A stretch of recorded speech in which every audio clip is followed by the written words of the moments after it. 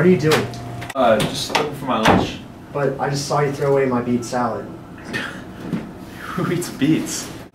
Who eats beets? I'll tell you who eats beets. My father, his father, his father before him. Generations of the Schrute family have eaten beets. Okay. Michael, this is a serious matter. You're in violation of the Office Code of Conduct, Article 2, Section 3, Clause 5. Code of conduct? More like schmode of schmont. Schma- schmonduct. Michael, this is a serious matter. This holy code, it governs all the employees here at Dunder Mifflin. And as assistant, are you telling me that other people break these codes? I mean, some people do it. Michael, as assistant regional manager Assistant to the regional manager. and the self-nominated head of security of this branch, I demand that you tell me. Was it Jim? Pam? You need to tell me. Uh, Kevin. It was Kevin. You saw Kevin? Yeah. Doing what? He he was in the break room. He's always in the break room. He eats all the time, like a like a horse. Seriously, he eats like a horse. M and M's, Skittles, Girl Scout cookies. Don't tell me you've never seen a horse go to town on some Thin Mints. Is this true? Yes. Kevin! Kevin!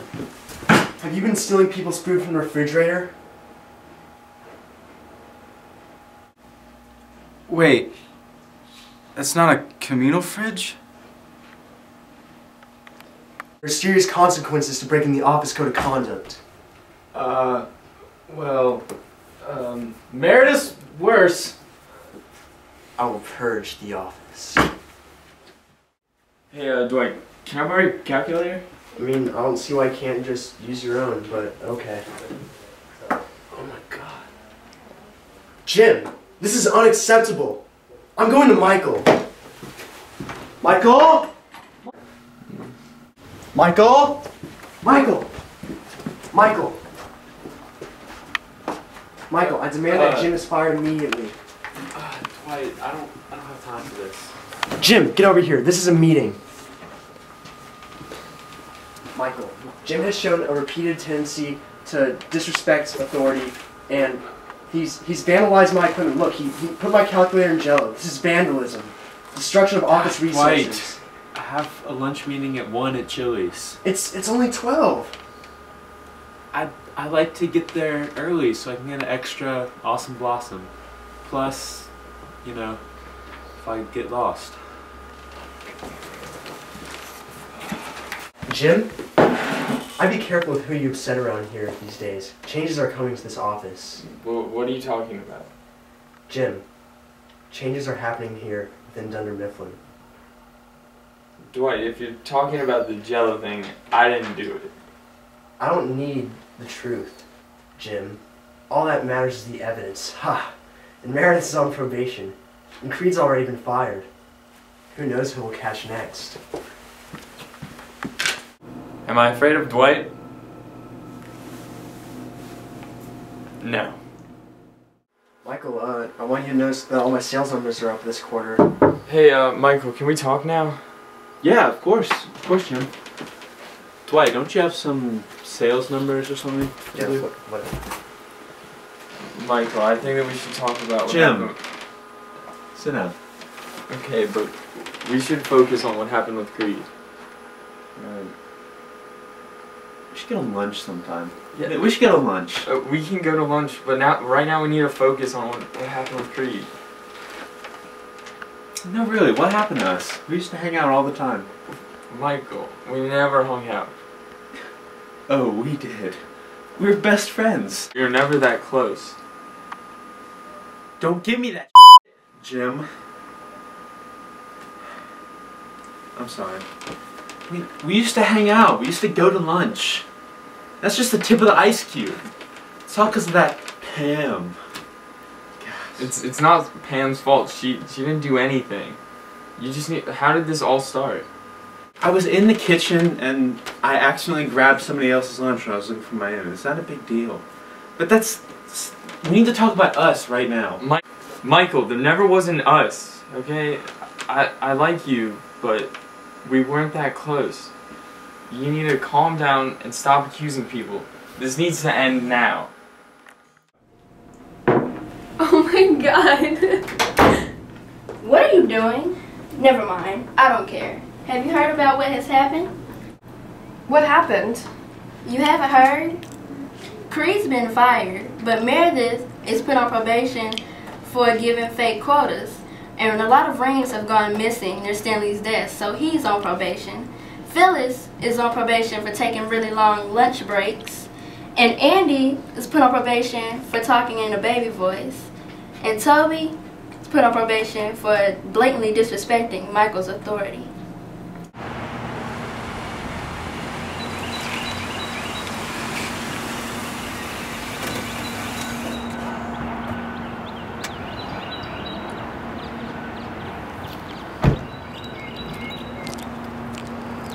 Michael, I got donuts for the office. Hey, you're a snowman donut? Well, it's March. Sprinkles? Keep your sprinkles the hell away from me. Don't eat that. What? When did all this happen? Well, I was on the board of office conduct. Wait, that board was real? I thought Dwight was just being stupid. Yeah, it was me, Dwight, Michael, and Holly. Why are you on it? Dwight asked me to. She's the only one that would say yes. Oh, we're just gonna go now. That's so rude. I wasn't done talking. You know, Pam's name was mentioned. What do you mean? Her name was mentioned? Well, her name was mentioned at the meeting today. Was it Michael? Dwight made me swear not to talk about it on the Schrute Family Farmers Almanac.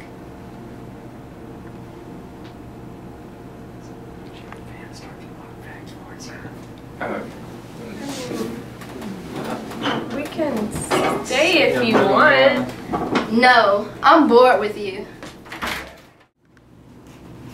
Hi guys. I'm not here for the board. I'm here of my own accord. I'm just going around talking to everyone who was mentioned in the meeting today to learn about them, their work, and their work ethic. Pam was mentioned in the meeting today. How would you describe your work ethic? well, I I get phone calls and I go to meetings and. Uh, Jim, you sell paper. You're one of the best salesmen in the office. oh yeah, yeah. I, I sell paper. See, between the two of us, we work. We both work really hard. But in the office, you both need to know what you're doing. Jim, just tell her what Michael told you. What? What happened? What did Michael tell you? I, I, Michael said that he was the one who took someone else's lunch. But it's turned into more than that. We've discovered that there are things a lot worse going on in this office. Do you even believe that these people are being rightfully questioned? Well, I mean, there's some bad stuff going on, but not on this scale. Yeah? No, I don't think it's right. Pam, how many years have you been overusing the water cooler? Dwight, that doesn't even make sense. Would you describe your actions as very detrimental to the company, somewhat detrimental to the company, or neutral to the company? Michael, this is ridiculous. We're not saying she did anything wrong. We're just trying to reveal the truth.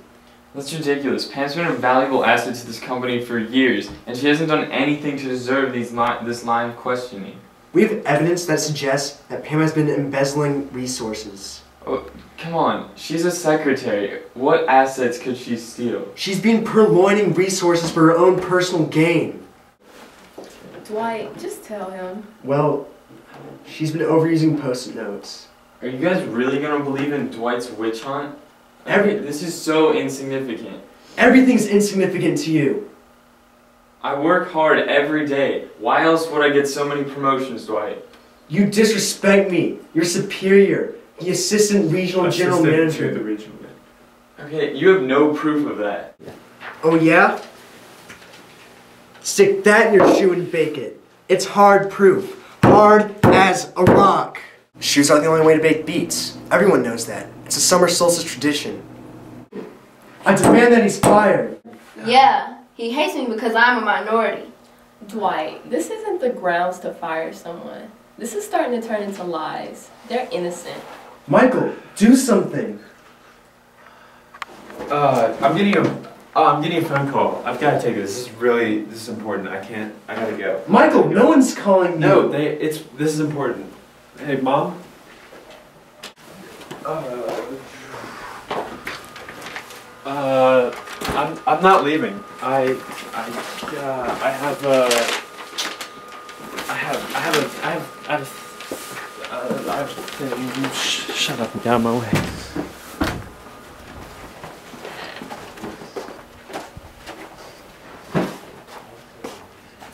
This is this is Dwight. He owes me money. From that time I gave him a ride to that place. I hear keys. Michael! Michael! Michael! I have the hearing of an armadillo.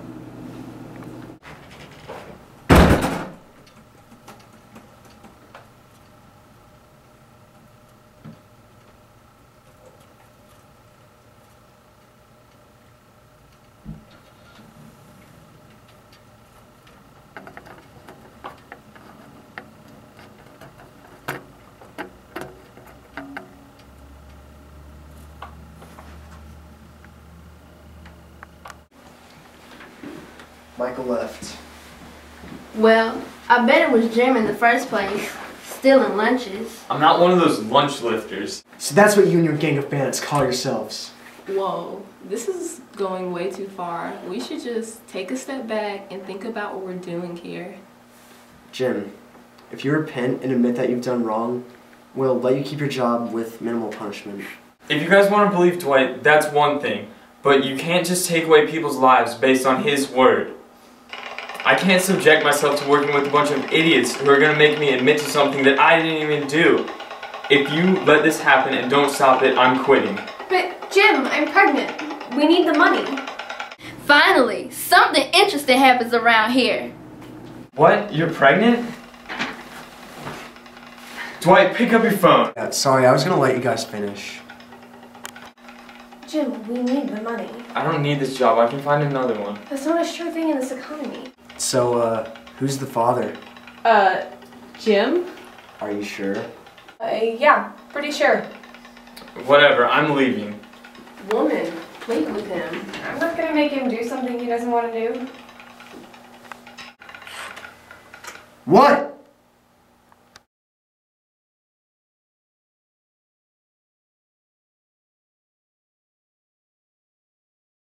Shoes are the only way to bake beets. Shoes are the only way to bake beets. Everyone knows that. Nice. You both need to know what you're doing in the office. I have a line right now, but I don't know what it is. Okay, Someone be ready. Beaming with passionate rage. It's like I'm hotter than an ox on a summer's day. Shubadipa. Nice. I like you. I think I wrote that line.